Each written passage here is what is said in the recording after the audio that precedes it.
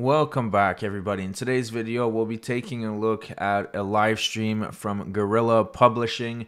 Now, I did the video about it yesterday. Ron Durbin got arrested and now he was at the hospital and we realized that he has a $20,000 bond and it turns out he will have court tomorrow morning. But while he's at the hospital, what's really interesting is that he reveals that his business partner co-frauditor sandbagged him and stabbed him in the back and ran back to Oklahoma because he was too scared to get arrested himself. And this truly proves my point that there's no honor amongst frauditors. Without further ado, enjoy the video. Ever uh, from a hospital room. I am at St. Dominic's Hospital in Jackson, Mississippi uh, as a result of uh, the Pearl Police Department, um, Mississippi. I was uh, yesterday. I went with James Freeman and uh, to the Pearl, Mississippi Police Department, and uh, I was walking around and I, I walked into the mayor's office and had a conversation with her assistant. And apparently, she didn't appreciate the fact that I was filming. It was not a restricted access area at all. There was no signs. I pointed it all out. I have it all on video. I wasn't live, but I have it all on video. And um, the officer comes and kicks me out and I'm out in the hall and he just doesn't like the fact that I'm trying to explain to him that they need to put up signs. So he goes inside to the woman and solicits her to file a complaint for disturbing the peace. Uh, I have found out since then that I'm charged with disturbing the peace and trespassing at City Hall. Yeah I, I don't know how I don't know how. Um, they set the bond for, for misdemeanors at twenty thousand dollars. Twenty thousand dollars. Um, and uh, they won't tell us. They won't issue the warrants. They won't actually even tell us that it's twenty thousand dollars. One cop told us it's a twenty thousand dollar bond. So we don't even know. And they've been parked outside the hall. Um, I'm not under arrest yet because they won't issue the warrant because they didn't want me to be here under their arrest where they had to pay for this stuff that they've done to me. So, um, yeah, uh, 20K for misdemeanors. That's, that's felony level stuff, folks. That's punitive for the purposes of punishing me because I made the mistake of going into the government building and thinking I could, you know, exercise my constitutional rights in Mississippi. Uh, it's, it's, it's utterly absurd. Um, no, I've been in the hospital since yesterday. I'm, I'm in the hospital. I don't know. They won't tell me what the heck they're going to do. Um, um, yeah, I don't know. So, uh, I was here with Sean and, and, and, James Freeman. James, look, I had no issues with James ever. James is great. Um, James came all the way over here to support me. Um, uh, the other subject, I'm not even going to talk about. It's not worth it. Um, uh, just understand that um, when the going gets tough, the tough get going, or the scaredy cats get running back to Oklahoma to avoid any potential that they would get arrested uh, because they're terrified. And uh, hey, Robert Snell, thank you so much for that, bud. Um, that's what we had there. We had a terrified little man that instead of staying back, um, leaving no man behind, decided he wanted to run. That's okay. That's okay. To each their own. Uh, I, I got Lee behind me, and, and that's what I need. So, by the way, Sean is the gremlin that got arrested in New Jersey that Taco Terry exposed. An absolutely vile individual. He was treating this woman like absolute trash, and then he edited out of the video to make himself look like the nice guy. So, anyways, pure scumbag, and this is what the viewers had to say. The real story is that Ron yelled and berated Sean in the hospital last night for hiring a bondsman that he didn't want. This isn't the first time that Sean has been treated like this either. Ron then told Sean to get his shit out of his truck and camper and leave. James Freeman was nice enough to offer to take Sean home after seeing how he was treated firsthand. Ron is always a martyr, though. And yes, this guy, Ron Durbin, always plays the victim. Uh, and then people are just acknowledging that he treats Sean like shit and so on. And people are saying they're unsubscribing. But what I find really hilarious, first of all, I couldn't care who's right or wrong in this situation. To me, this is just some teenage school drama that makes no sense for adults to do in public.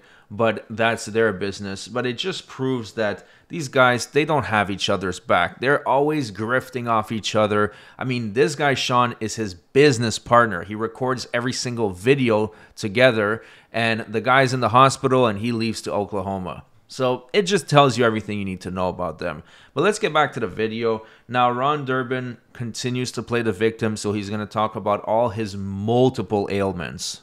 I'm here. They got me on the heart stuff. So here's here's here's. Let me just give you the update. Um, I have coronary artery disease. So I have stents.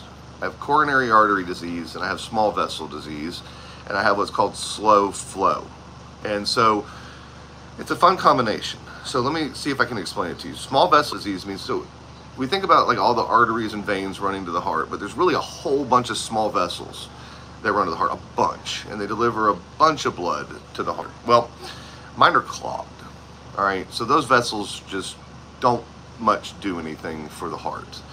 Um, and then uh, I've got uh, slow flow, which means that the, the major vessels and arteries that go, they're big and uh, unfortunately, uh, they collapse. And also because they're big, it slows down the flow of blood, especially in high stress and in dehydration. So it's a too much catfish, um, and uh, it, it, causes extreme chest pain. I don't know how to explain it other than to say that some. Imagine somebody's like grabbing your chest and squeezing it as hard as they possibly can, uh, without letting up. Shortness of breath. It's it's terrible. Uh, and I can tell you, it doesn't feel, I, have had heart attacks. It does not feel any different having one of these than versus having a heart attack. It, no different whatsoever. It is absolutely excruciatingly unpleasant. Um, and uh, somebody said panic attack. I, that, that happens too, tight spaces. That doesn't help situation. Stress and all that stuff doesn't help situation. Anyway, um, the, uh, the nice, fantastic cardiologists here have decided that I need another medication that will help uh, with uh, uh, with that. And uh, hey, I have a suggestion, Ron. Since you seem to have all these ailments and you're very sick with your heart why don't you stop frauding and committing crimes? That way, you're not to get arrested. You're not to get thrown to the ground like last year. Why don't you just cut out all that bullshit? I know you want to be an internet celebrity. You really have that look in your eyes like you really want the fame, but maybe you're getting too old for that and you're getting too sick for it. So, why don't you put that shit aside. And on top of that, there's a strong chance that he's going to criminalize his kid in the next couple months because now his son is going to be following him around recording. It's just a matter of time before he gets arrested. Even Amagansett Press's son got arrested at least twice that I know of. So yeah, I think it's time to hang up the camera and just quit this bullshit. Hopefully that will help. Anyway, we're trying to figure out what the process is here. And uh, I've got a bondsman I've already paid them two grand to bond me out. So that's all arranged. And uh, we just can't get them uh, to, to tell us um, what the plan is. So I'm going to walk back down the hall real quick with you guys. And you might not be able to see that best. I'm going to, um, I'm going to, uh, AFA wasn't here. Uh, AFA wasn't here. Josh has called. Abrams called me multiple times this morning, checking on me. Um, Abrams is uh, is uh, is uh, is great, and Freeman was just getting Sean, you know, out of here. I, I got no issues with Freeman. And look, Lee, Lee's my son, and Lee Lee's very unhappy. And Lee watched the conversation last night, and Lee was extremely pissed.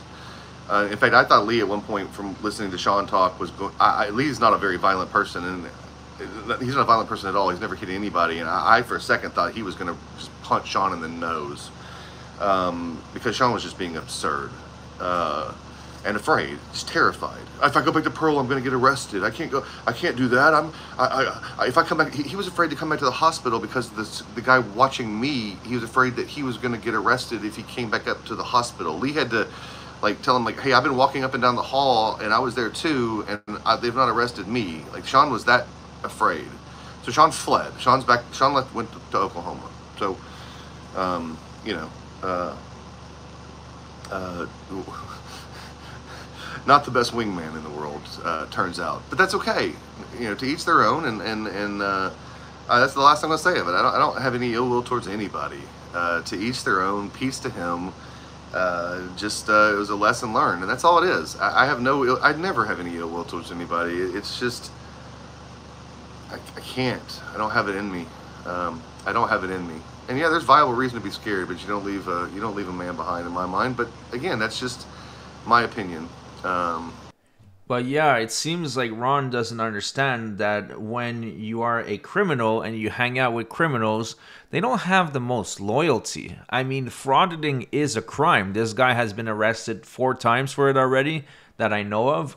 So obviously, if you're there committing crimes, sometimes there's going to be someone that leaves and just leaves you holding the bag. And in this case, that's what happened. Now, maybe he's going to rely on his son a little bit more, but like I said before, it's just a matter of time before his son gets criminalized as well. I don't know if he already has a criminal history. He looks pretty young, maybe 18, 19. So it's really unfortunate that we're seeing an Amagansett Press 2.0 over here. Well, there you have the answers, guys. I don't know what else you want to know. But that's that's the answers, folks. So we're gonna chill here. Um, they wanted to keep me um, and do a cath, but I said no. No caths for Ron. I don't want a needle in my heart. If I'm to have a needle in my heart, Dr. Hussein in Tulsa, Oklahoma has seen me naked a lot. Um, so you couldn't hear him? Okay, you couldn't hear him. Here's what he said. He said that um, he didn't really know yet what the warrant is, uh, and that he it won't be issued. It won't be issued until I'm released. So they're here babysitting me, but they won't issue the warrant until I've been released from here. So technically, I don't have a warrant, and I guess I could walk out that door to the left there. Where's my shoes? Let's go. Huh? Yeah. Why not? He said I don't have a warrant. Yeah. Go get the truck. Where, where's the truck at? It's uh down and around on the other side. God, damn warrant. Make sure he's not looking.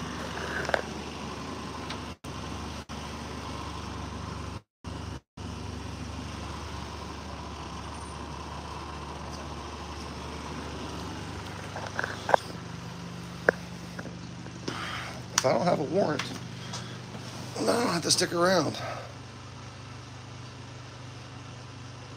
He's probably watching the live. I don't have a warrant, guys. I am not running from anything. He, he said I don't have a warrant yet. A warrant has not been issued.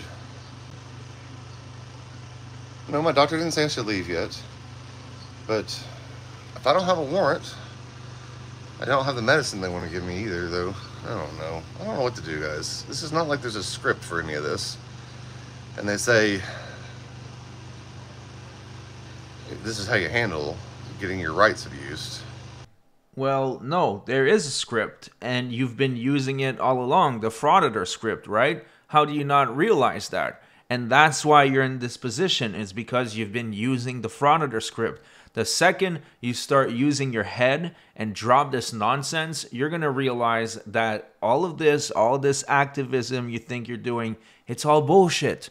You are just a YouTube entertainer and a shitty one at that. That's the most you'll ever be on YouTube, unless you decide to do something else. Anyways, that's it for the video. From my understanding, he was let go a little bit later and then he was given a court date of tomorrow morning. So he will have to show up to court tomorrow for the next step in the procedures. I'll keep you posted. Thanks so much for watching and I'll see you guys on the next video.